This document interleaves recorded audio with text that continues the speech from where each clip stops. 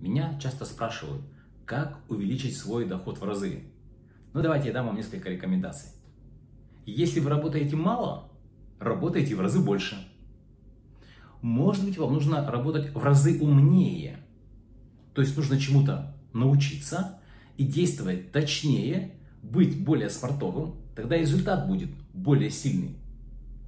Возможно, вы занимаетесь инвестициями, но тогда вам нужно быть прям погружен в эту тему. Потому что если вы хотите зарабатывать деньги не только вот этот год или этот месяц, а на протяжении десятилетий или сделать себе некий пассив, ты должен иметь очень высокую экспертизу и постоянно быть на гребне. И никому не доверяй решения, которые ты будешь принимать, когда будешь заниматься инвестициями. Если ты предприниматель, тогда обрати внимание на следующие три показателя. Тебе нужно в разы увеличить количество клиентов, или тебе нужно в разы увеличить маржинальность одного клиента, или тебе в разы нужно увеличить, сколько раз клиент покупает в единицу времени. Ну, допустим, в год покупает не два раза, а шесть. И вот эта компиляция между тремя вещами, количество клиентов, маржа и частота покупок, если ты на все влияешь, в принципе, там, по 50-60%, перемножая эти вещи, будет увеличиваться в разы. Но есть еще один способ зарабатывать в разы больше. Обрати внимание на свою бизнес-модель.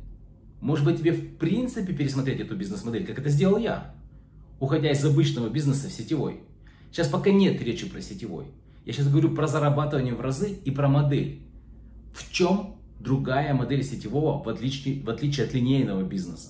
В том, что это многоуровневая система дистрибуции, где тебе платят деньги с тех уровней, на которые ты повлиял.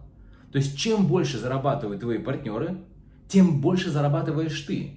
Ну или, говоря проще, может быть, ты получаешь деньги с оптовых продаж тех своих оптовых продажников, которые продают оптом. Понимаешь смысл? И это совсем другая модель, другая форма. Чтобы ее понять, ты можешь прийти и потестить, как работает какая-нибудь продуктовая сетевая компания. Попробуй и потом примени это в своей деятельности. Может быть, тебе понравится, ты останешься так же, как я. Помните, та смешная поговорка? Наша кошка не очень любила пылесос, но потом ничего втянулась.